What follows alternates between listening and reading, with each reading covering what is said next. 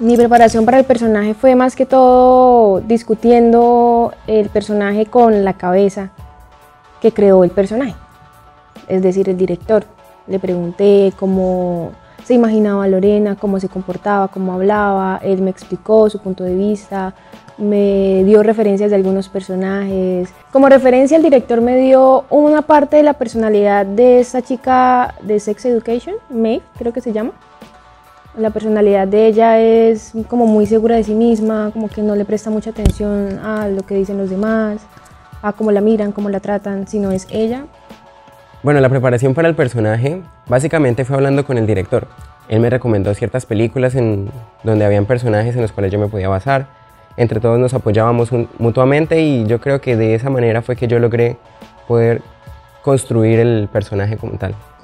Bueno, para preparar el personaje de Christian definitivamente eh, traté de cierta manera de controlar un poco, por así decirlo, mi personalidad. Soy un tanto diferente a Christian, entonces soy un poco más extrovertido, un poco más alegre, dinámico. En cambio, Cristian es todo lo contrario por esa parte, entonces procuraba de cierta manera eh, controlar más que todo mis arranques de fusividad.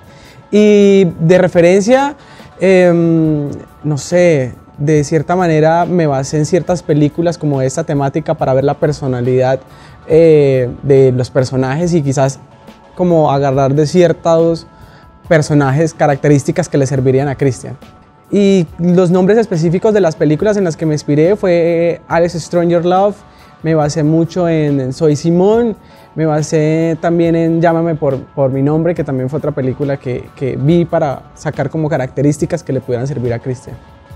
Bueno, trabajar con mis compañeros de, escenas y demás fue bastante interesante porque primero no los conocía a, ninguno, creo yo, entonces fue como buscar herramientas para crear vínculos, para que se viera la química al aire, entonces en medio del rodaje de pronto yo salía con alguna ah, payasada, por así decirlo, molestando, como para hacer el rato ameno y crear un vínculo de confianza y demás para que las escenas fueran como más naturales y todo surgiera de la mejor manera. Ay, me transformaste. Esto es para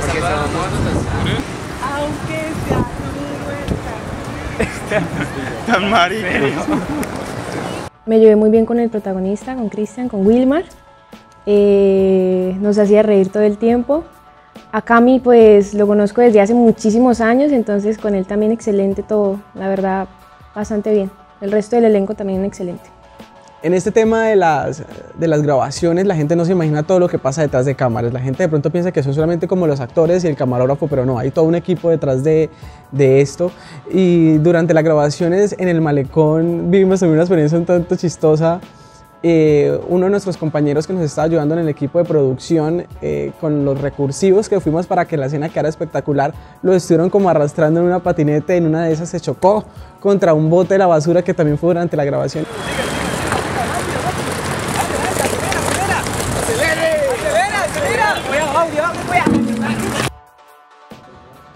Pues resulta que yo soy muy, no sé, extrovertido, animado, la recocha que llaman y demás. Y a veces que lo los veía todos como muy serios y como muy mal geniados o estresados, empezaba yo a hacer algún tipo de vaina para, para hacerlos reír, como para aliviar la carga del estrés laboral que teníamos en ese momento. Entonces siempre salía con algunas cosas. Procuré no dar papaya, procuré que no quedara registrado en videos. No sé si me habrán alcanzado a grabar, pero bueno, la idea era pasarla bueno, disfrutarnos hasta la grabación, que también era importante, disfrutarnos todo el proceso. La escena más difícil de filmar fue la escena en donde saco a bailar al protagonista, a Christian. Tenía que seducirlo. Realmente para mí fue muy complicado porque no en la vida he hecho eso, nunca he sacado a bailar a nadie, por lo menos con intención de coqueteo. Entonces, la actitud, la reacción de ella a la música, la situación, el contexto con sus amigos, el nivel de energía que tiene Lorena es muy diferente al nivel de, energía que tiene Camila. Entonces, esa fue la más difícil de grabar.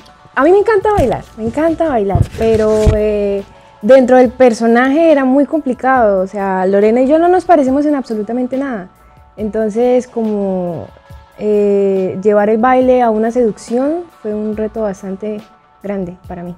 Mi, identificación con el personaje no fue completamente, porque no tiendo a tener la personalidad de Dylan todo el tiempo, sino en algunos momentos específicos. Entonces, aunque fue un reto para mí llegar a, darle vida a este personaje, pues fue muy divertido.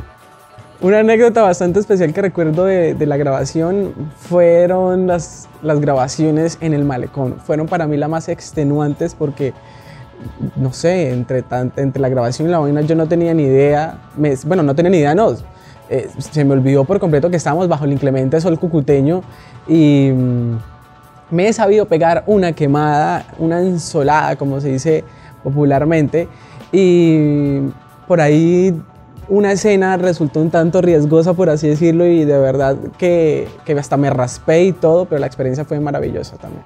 Escena 14, plano 2A, toma 2. 4, 3, 2, 1, acción.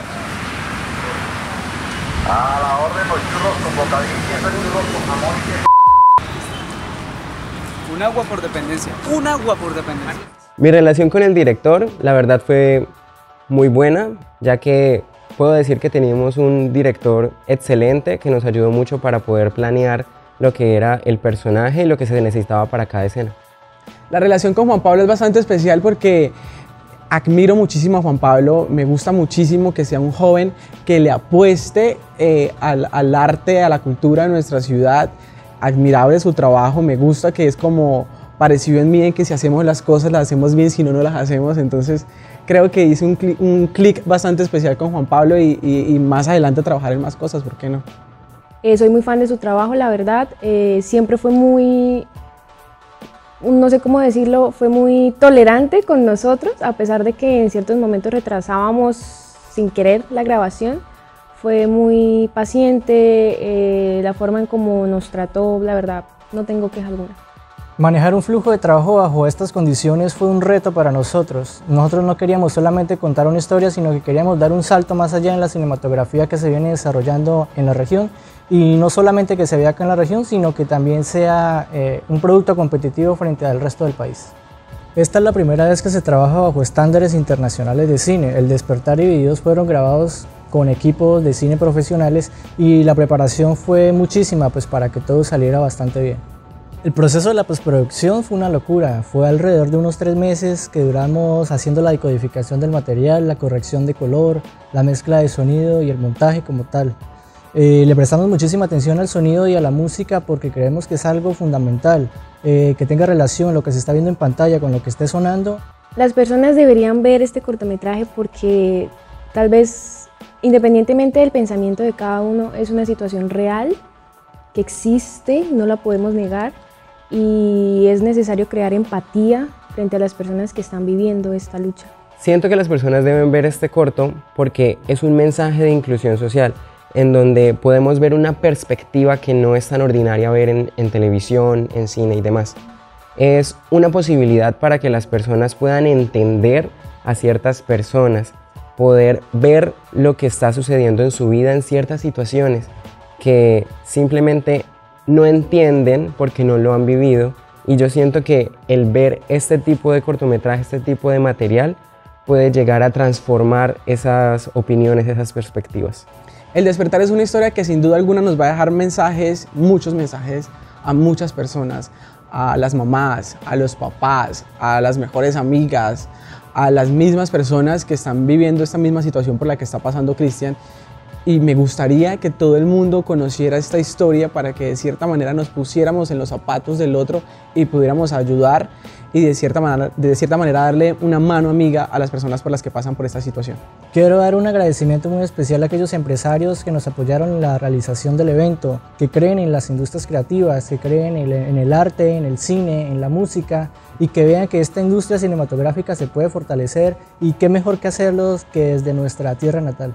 Óiganme, estoy literalmente muy, muy agradecido con todas las empresas que se vincularon con este proyecto.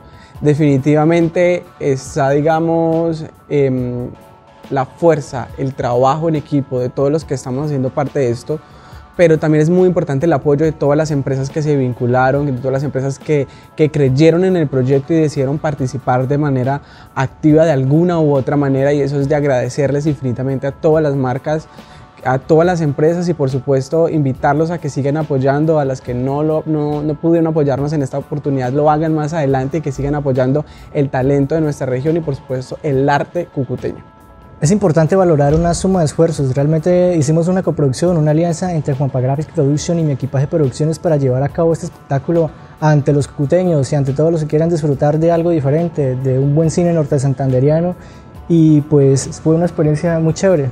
Y lo, lo más chévere es que Cinecon es una propuesta que busca demostrarle a la gente que del cine se puede vivir y que, que podemos ganar dinero trabajando en lo que nos gusta y que es rentable y que aquí se puede hacer muchísimas cosas diferentes.